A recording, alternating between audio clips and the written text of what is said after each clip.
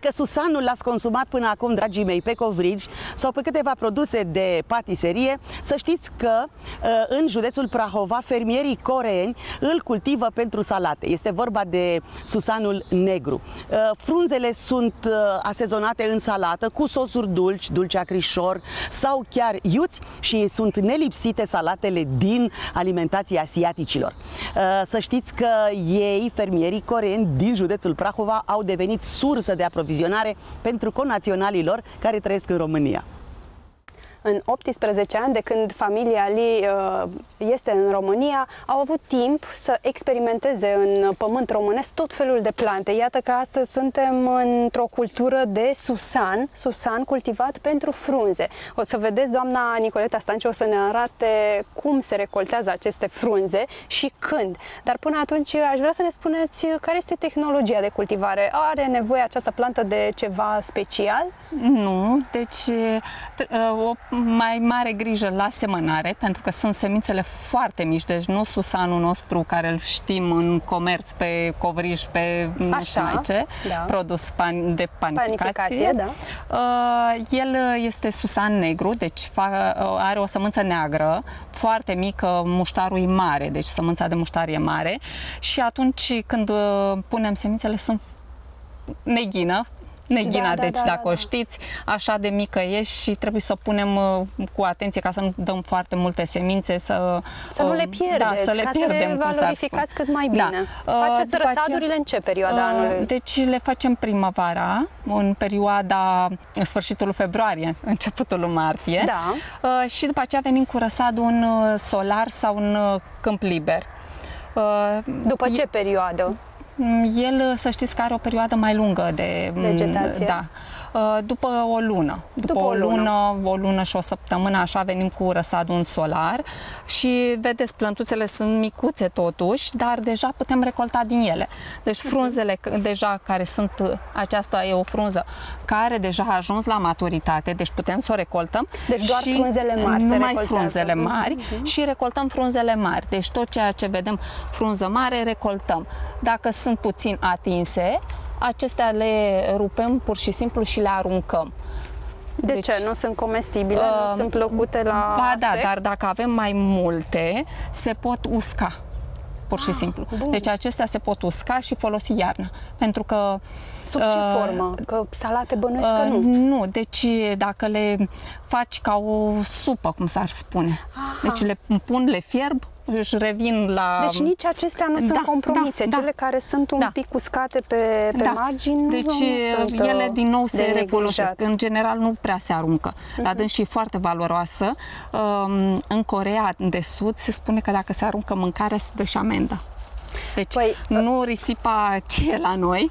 Corect, deci totul corect. este uh, suprafața mică din țara lor și populația foarte tot. mare, uh, ei valorifică tot. Deci, da, eu chiar vreau să vă spun un lucru pe care l-am auzit puțin mai devreme de la domnul Lee. Uh, dânsul nu vine în fața camerei pentru că are impresia că vorbește mai prost românește și îl uh, deranjează treaba asta, dar am aflat de la dânsul că vânzând o casă în Corea de Sud, ai putea cumpăra în România 20 de case, ceea ce este extraordinar. Da. Vă dați seama uh, cam care este competiția pentru o bucată de pământ acolo și care, cât de mare este dorința da, de a valorifica spune, um, terenul.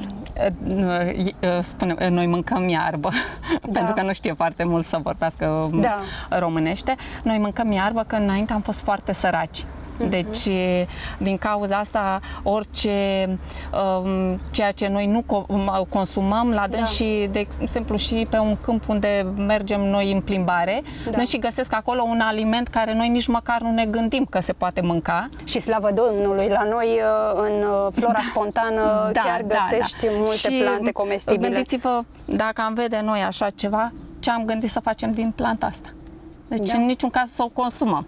Deci nu ne-am gândit să ne facem o salată sau să mâncăm cu un pește uh, sau să îl murăm Da, Deci dar știți ce vreau să vă întreb? Că, e, na, luând așa cât o frunză, uh, eu zic că este destul de aspră. Ea are pe spate niște perișori.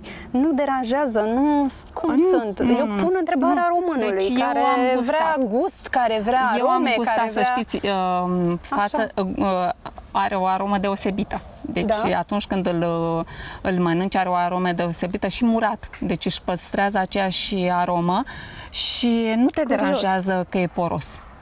Deci Mhm. la mână poate ne deranjează, dar atunci când îl, îl mănânci, pur și simplu nu.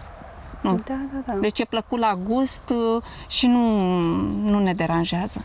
Iar pentru ei este o afacere, să spunem chestia asta. Dumneavoastră aveți aici cam ce suprafață? Aici avem uh, 1000, patru 150 de metri pătrați și mai avem și afară. Deci undeva la vreo 250 de metri pătrați de Bun, și susan. uh, spuneați dumneavoastră că plantele astea sunt mici, ele vor ajunge la maturitate ajung, mult da, mai noi înalte. nu o să ne vedem din ele, deci de, dacă o să veniți Deci mai depășesc târziu. un metru și um, jumătate, da, chiar deci doi? ele se fac uh, la 2 metri, 2 metri și ceva și cu ramuri foarte multe, deci planta se dezvoltă. Da. Uh, și când ajungem uh, toamna, Da.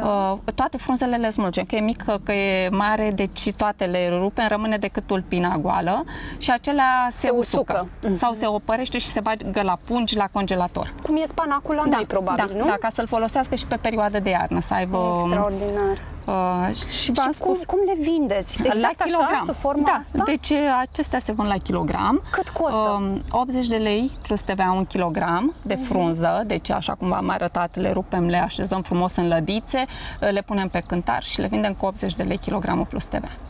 Ce afacere! Da. Da. Grozav, Deci, grozav. nici eu n-am văzut, uh, o confundăm cu urzica. Da, da, Deci- doar că nu pișcă. Da, da, nu pișcă, frunza e asemănătoare, e puțin și poroasă. Da, da, deci, dar are un miros deosebit. Deci dacă îl mirosiți, are un alt fel de miros.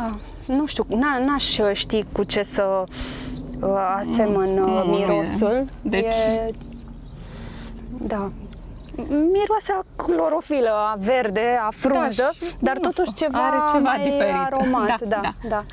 Grozavă afacere, ce să zic. Uh, în salate, uscat, proaspăt, Murat. murat. Da, cu ulei de soia. Deci dăm și îl pun cu ulei de soia și pun și semințe. Semințele de susan ale noastre le pun acolo, morcov, ras Da. în, și tot așa se păstrează la frigider. Doar în, uh, în spații protejate crește? Nu, nu, Și v-am în spus câmp? că avem și și în afară. câmp, Da, afară. da, da. Bun. Suntem în Prahova, dragii mei, deci am putea foarte bine cultiva noi, românii, susan. Gândiți-vă, este o idee da, eu de cred afacere. că pentru restaurante și cei care vor să uh, arate și altfel, deci nu mâncăm numai românește, putem avea Meniuri și ceva... internaționale, Da, avem sigur. și ceva din altă parte și e foarte ușor de preparat, deci poți să-l mănânci sub formă proaspătă sau Grozav, sub formă grozav. murată. Da. A- Aveți clienți români? Care vin să cumpere Clienții așa ceva? români, să știți că am avut uh, restaurantele din București. Da? Uh, Fiul domnului Lee a deschis un restaurant cu specific corean, iar acolo Mi au se mers pare mai normal. mulți, bineînțeles că și concurența. Da. Uh, Să vadă ce, ce Prepară, prepară sigur. dânsi. Și mi-au, după aceea mi-au Comandat. cerut, a cerut Da, numărul da, de da. telefon de unde uh, aduce produsele acelea și m-au sunat ca să livrez în București, dar îmi vine puțin mai greu pentru că trebuie să consumi. Deci dacă iei un kilogram și dacă nu ai clienți, nu poți să, să-l vinzi.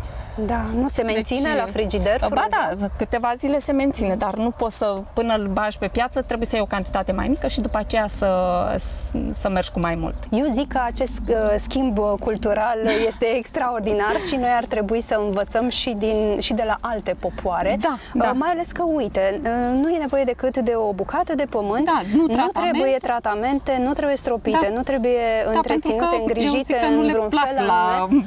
la gâzele noastre să le mănânce. le păcălim puțin, poate dispar. Nu mai vin atâtea.